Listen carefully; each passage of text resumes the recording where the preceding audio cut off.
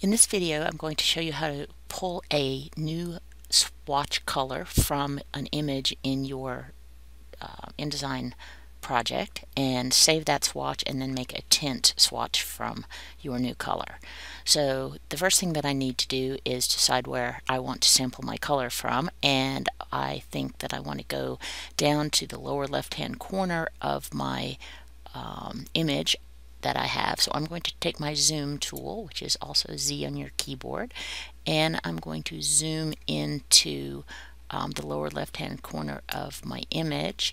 And now I'm going to use the eyedropper tool to sample a color. And I can use I on my keyboard to access my eyedropper tool. And I'm going to take one of these dark reddish brown colors and sample that. And I see now from my swatches panel that I have um, a, a nice rich brown.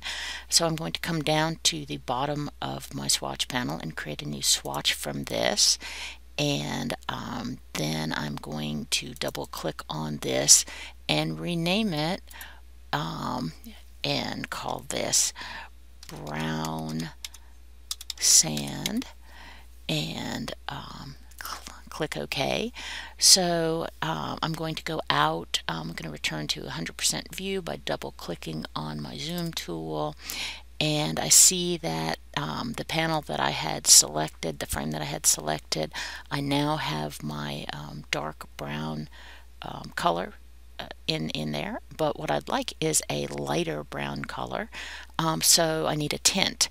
So I'm going to return to my swatches panel up in the upper right hand corner to the um, swatches panel menu and say that I'd like a new tint swatch.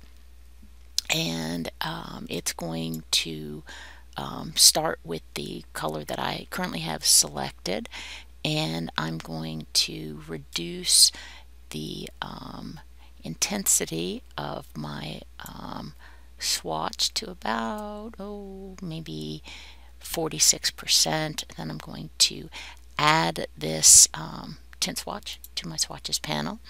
And I see now that I have a brown sand um, tint swatch at 46% um, and that it has automatically applied this um, tint swatch to the frame that I have selected.